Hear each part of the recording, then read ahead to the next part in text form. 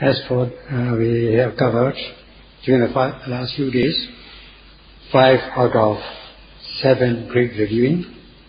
The two more left to be covered. There are seven great reviewings, Mahapaccavekkhana. As for the last two ones, namely the fourth and the fifth great reviewing, uh, as for the monks, it, it is concerned with the monks about the offense, if they commit this offense, uh, they would uh, rehabilitate or redress this offense by confessing with a companion in holy life and also take a vow not to commit such things in the future. In the future, that means vow of restraint, restraint in the future. And in doing so, the monk, although the monk commits such offense, which are petty offenses, which can be rehabilitated, uh, he does not break them with intention, with intention, purposely breaking them. He's breaking the, not for the purpose of purposely breaking the training rules. So one goes to another monk, that is a companion in the holy life, and confess one's mistake, or take part in mutual confession, and take vow of restraint in future. In this way, the monk takes care uh, not to commit such things in future, and if at all he or she commits you she would go to companion and holy life and confess at once and re- rehabilitate offense at once. And this also applies to lay people. Lay people should also take care of their offenses in their own rights. As well as monks, if they uh, take care of their training, then their practice of the three trainings will be uplifted so that their physical, verbal, mental behaviors will become unblemished and become amiable. Because it is flawless, it becomes cultured, general, peaceful, calm, and if one practices, continues to use to practice in this way, one is bound to realize the path and fruition of the knowledge one, of the noble one, and will realize the real sensation. So, in this way, one would train, one would uh, strive in order to maintain one's training. And in this way, one will cherish one's training. And if uh, monks are able to do that, the monk will be able to possess the mind of a monk, that is the higher mind of a monk. And if he practice uh, the training of wisdom, they will be more than worthy monks. And as for lay people also, if they if they can practice this concentration, uh, they will be able to possess the higher mind as a human being, and if they practice Panya sikkha, they will be above or they will be more than what the human being. In this way, their value will be uplifted.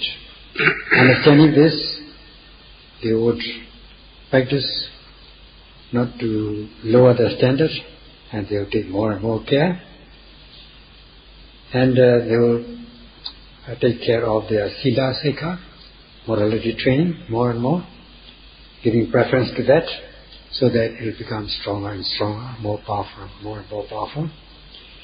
And then they will take care not to make mistakes, not to commit offenses.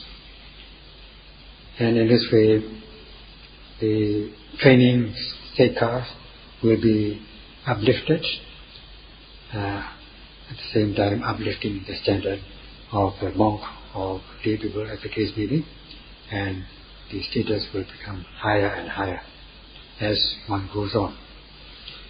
Therefore, in the fifth great review, though one is unavoidably involved or engaged in various matters, as for the monks, helping, uh, uh, engaged in his or her own work, or helping his or her companions in the holy life, they are not forgetting to undertake their three trainings. Instead, they energetically practice with preference, giving preference to the three trainings. Demanding themselves, by themselves, to undertake it. Like the case of the mother cow, looking after its calf while grazing. It doesn't, well, although it, it, it is grazing, it doesn't forget to look after its calf. So if such uh, mind, if the world, if people in the world can possess such mentality, then the world is bound to be peaceful and happy place to live in. And understanding this, one should be able to build up one's own little world so that one's world is unblemished and step by step uplifting one's world and uh, in this way uplifting one's training at least uh, to get uh, so that to calm one's mind, one's world, so that one's world becomes peaceful, and then one can build up the world of others, the world of society, so that uh, the world, the other world, the world of society also will become safe and secure. In this way, if we continue to do in this way, uh, the world will be a peaceful place to live in, and one should uh, uh, take preference and to practice in this way. And uh, in this way means you know, practice according to what has been given in the fourth and fifth great reviewing. As regards to this uh, sixth great reviewing, this is how the Buddha preached. Monks again a noble disciple considers thus. Any person who, has, who possesses an Aryan view possesses such strength, strength or power. Do I possess such strength? That is how he or she reviews. And in this matter, strength is very required. One should consider oneself whether one possesses enough strength or not. Only with the strength one can do things. If there's no strength, then one cannot do anything. So it is quite natural that one should review by oneself whether one possesses one possesses enough strength. We need strength in order to resist any opposing, undermining elements, we should accumulate enough strength or power in order to be able to withstand such opposite, uh, opposing elements. Otherwise, you will be the loser, and it is not nice to be a loser. You should never be a loser. You should be able to resist. So in the realm of the Dhamma, resistance or withstanding or repelling means you do it with the method of the Dhamma. And in order to be successful, to resist successfully, it is necessary to have enough strength to be able to resist these opposing animating elements. Now, as for the Arya, one is aspect is become Arya, and having in possession of this Aryan view, uh, he or she has accumulated enough strength or powers, and he or she reviews to what extent he or she has come into possession or accumulated the strength or power. So you need this uh, strength in every being. Even animals need this strength as much as human beings. And uh, two kinds of strength. One is strength which will give you benefit, which is a beneficial strength, and uh, another is which will not give you benefit. As for animals, they, have, they should have enough strength, or they have strength in order to pull or push the burden, the load. And same thing goes with the horses. They also have the strength to push or pull. And nowadays, uh, with the uh, industrial revolution, industrialization, the machines also have strength. We call it power, horsepower, in order to work the machine, in order to work, to run the machine. And human beings also have their strength in their own right. Here we're talking about their physical strength. Uh, so as much as we have physical strength, we should also have the mental strength. So mental strength is another aspect uh, which uh, we should possess. There are two kinds of beings who possess strength. Uh, one kind of being, human being, is the willing, rogues, bad people who have uh, bad strength, uh, bad energies, evil energies, such as they have enough strength or uh, enough energy to kill, steal, uh, tell false lies, and so on. Also, they can do all sorts of bad things. That is one thing. For that strength, you need not encourage such strength because they arise as a natural temperament or natural habit uh, as a result of the past lives. And then uh, this need not, there's, there's no need for cultivating such strength.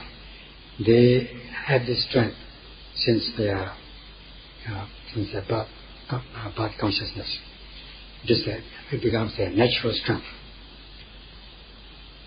However, uh, there is such strength which is a beneficial strength which one should possess that is good strength, such as the intellectual reasoning, the power of intellectual reason. In Pali, it is known as Patisankhana Bala, knowing and being able to differentiate good from bad and know how to abstain from bad things, unwholesome deeds, which will uh, stain or which will blemish your physical, verbal, mental behaviors. They are not desirable. So, as for another strength, uh, another reason is that you able to observe good things, sucharitas, good moral conduct. And this should be possessed by everybody. So they should possess this kind of intellectual, the power of intellectual reason, Patisankhana to abstain from unwholesome deeds and to observe wholesome deeds. If one has got that temperament, then one will be not only doing for the welfare of oneself, but also doing for the welfare of others with sympathetic feeling. In this way, one should be fulfilled with such power of intellectual reasoning, which is uh, possessed by the virtuous people. Now, just to possess what you already possess, that is in terms of pleasures or happiness or welfare or prosperity, one should not be content with one's own prosperity which one already possesses. One needs to possess more strength and, uh, and in order to realize the uh, true pleasure. Now we are seeking pleasure but we have to suffer much. In order to gain small pleasure, there is much we have to invest or we have to put in much suffering. Understanding this, uh, understanding that such pleasures, even if you get with, uh, if you gain with much suffering, uh, is uh, not safe, is deadly, is fatal, and you must have uh, must understand with your intellectual reasoning, the power of intellectual reason, that there is such a pleasure which excels manifold the worldly pleasure that you are seeking, even with much suffering. So, in order to gain such pleasure, you should be, you should be prepared to forego or let go uh, your, uh, your, your, what you possess, your possessions, in order to gain uh, more pleasure, which excels many, many, many, manifold the worldly pleasures. You should be able to forego your present pleasure, present enjoyment, to gain better enjoyment, better pleasure. With this in mind, you come here in order to get this, to take up this high level discipline of the way of mindfulness and uh, trying to energize yourself so that you gain more mental power. When in the beginning, of course, your mental power is not so uh, so great, so you try to develop it, enhance it, to become larger and more powerful. In this way, you undertake the practice and you gain the benefit of the practice. And then in the beginning, you exert energy, but that energy was not so uh, great, so powerful. Right? In the beginning, it is only initial launching energy. You come to uh, learn the correct method of practice, and first you try to accumulate the mindfulness as much as you can. Later on, building up momentum and uh, exerting more mindfulness day by day, the power of mindfulness, the strength of mindfulness become greater and greater so that you'll be able to concentrate your mind, deepen your concentration so that your power of concentration also become more and more greater. So is the, the power of aiming, that is applying your mind, focusing your mind on object of attention in order to cultivate inside knowledge, beginning with the discernment of mind and body, progressing along the path. When you come to the stage of the instantaneous rising and passing away, known as Udaya Jnana, then your faith and confidence, the power of faith becomes very great. You make, uh, you would say to yourself that this method is correct. This is the correct method. So I have come to this stage. So you can judge by yourself you can review by yourself. To what extent we have reached with the practice of meditation and uh, how the how beneficial is every moment of mindfulness. So you take more care not to miss the mindfulness or you miss the objects to be noted and uh, at the same time thinking that uh, missing or losing this mindfulness is a great offense for you as far as your practice is concerned. That is coming into possession of the worst wholesome mental state known as hiri ottappa, moral shame and moral fear, having fearful and shameful of uh, losing your mindfulness. You don't want to lose it. If you lose it, you become ashamed, you, you are fearful of losing it. So you take more and more care.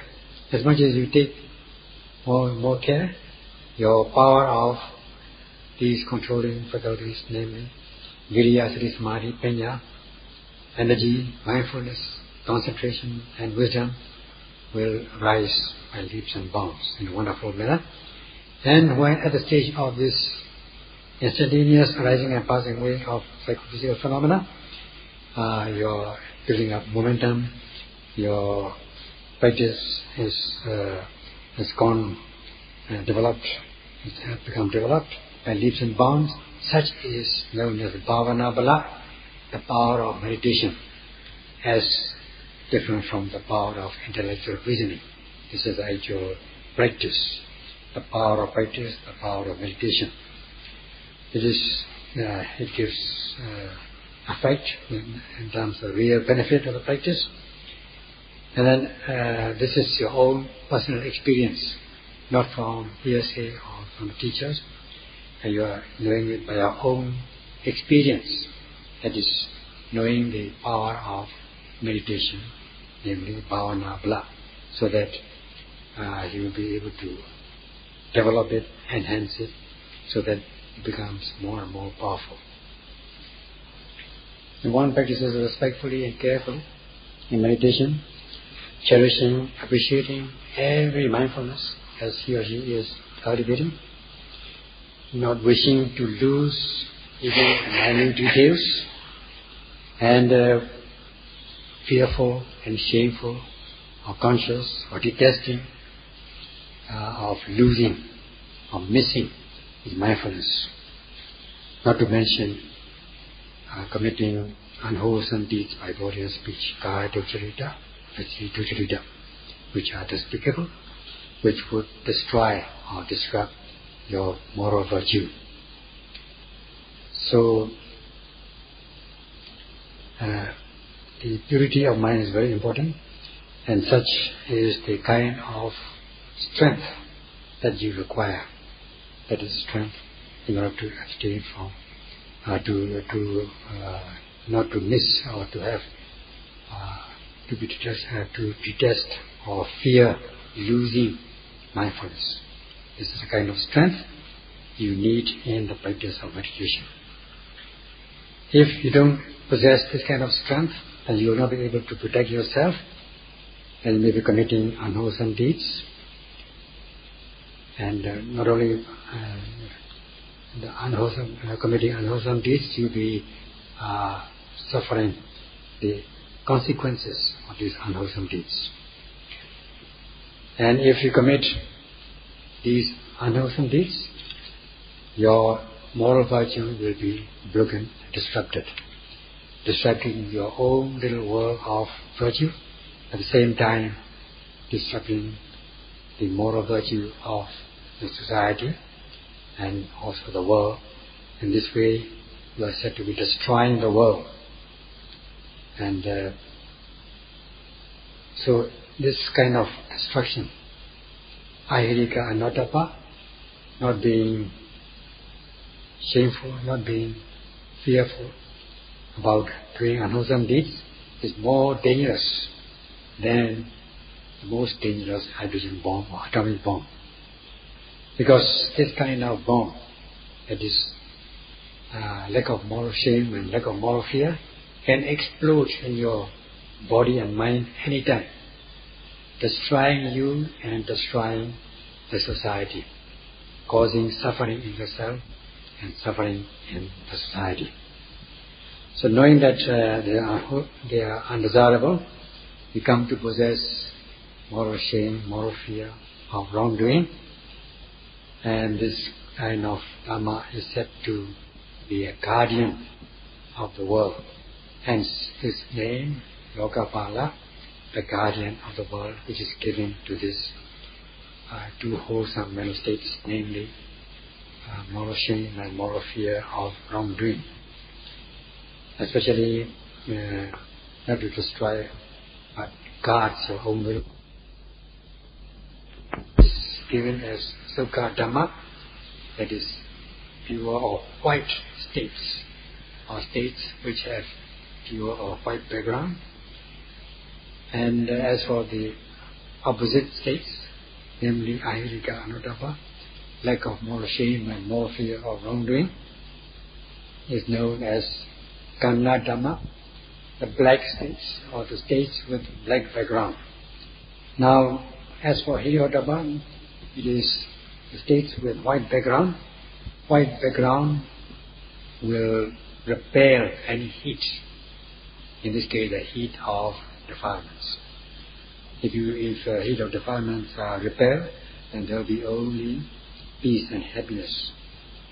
And as for the black background, the kanhadhamma, which is ahirika anottappa, shamelessness, fearlessness of wrongdoing, is given as kanhadhamma, which is a black states or states with black background, things with black background will absorb heat. So it causes suffering. So in this uh, in this way, this uh, if these two wholesome mental states arise in the world, then the world is said to be shining. If uh, if one possesses hiriyottappa, then one is said to be shining bright. So it shines bright if you possess these wholesome states. In this, hence, it is known as Deva Dhamma. And if when this two states shines bright, or this flourishes, then this will be a pleasant and peaceful world to live in.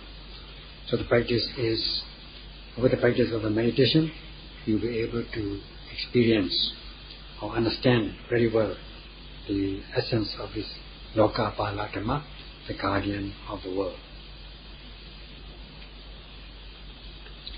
Now, when uh, one is not able to practice this high level discipline or the way of mindfulness, the majority are not able to do that, or the majority uh, are not shameful and fearful of wrongdoing, not knowing how to detest and fear the unwholesome deeds, not to uh, not knowing the not, knowing how to detest and fear the consequences of unwholesome deeds.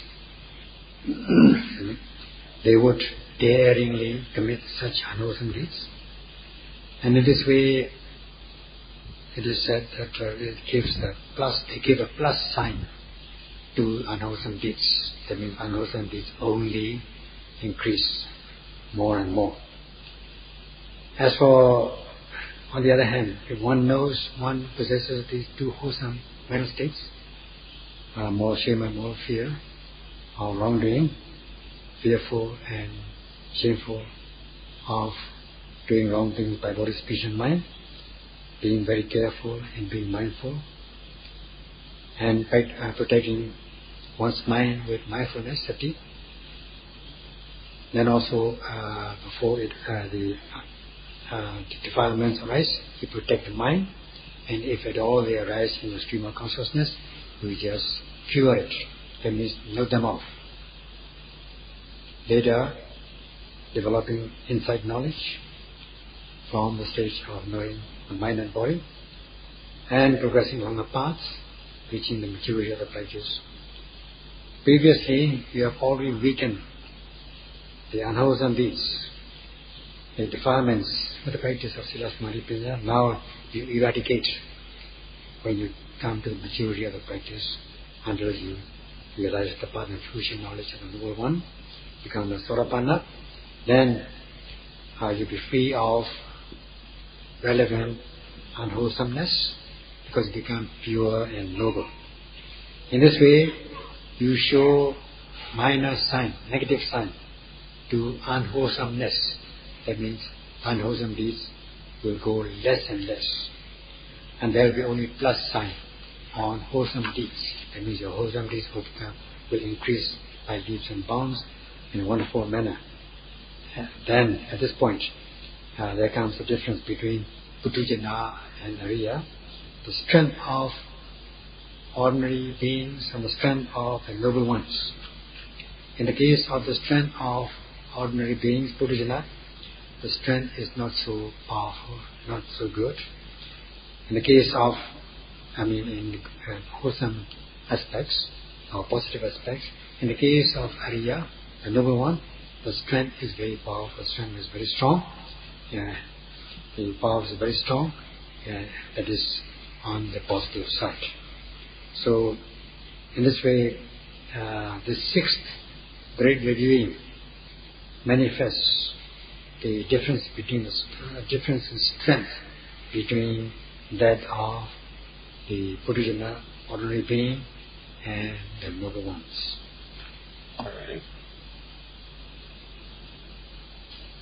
The Buddha preached in this way. When the Dhamma Vinaya, that is doctrine, discipline, proclaimed by the Buddha, is being taught one heeds it,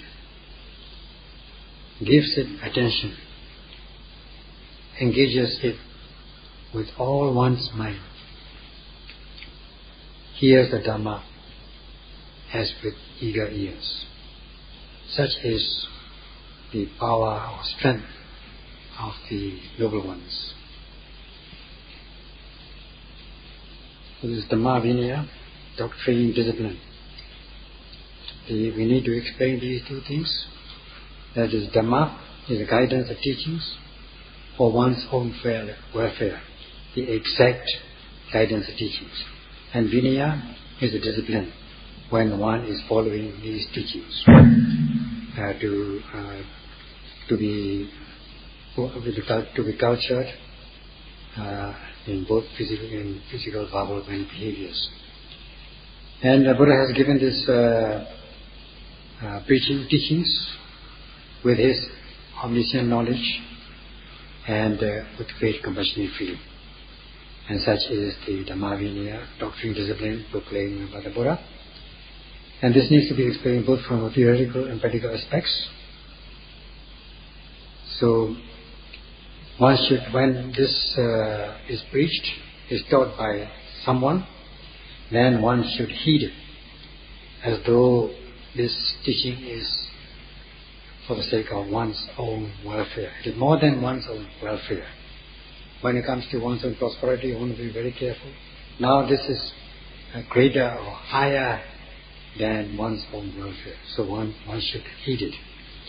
Not to look here and there, not to be mindful of here and there, but to be respectful and carefully paying attention to the teachings of the Buddha without any uh, thoughts, any extraneous thoughts or distractions. Otherwise, you will not gain any benefit and realize any benefit of the teachings. It amount, it'll, instead, it will to not paying respect to this Dhamma, Vinaya, doctrine, discipline. Uh, not so in the case of uh, Sotapanna, the Arya. This we shall continue tomorrow.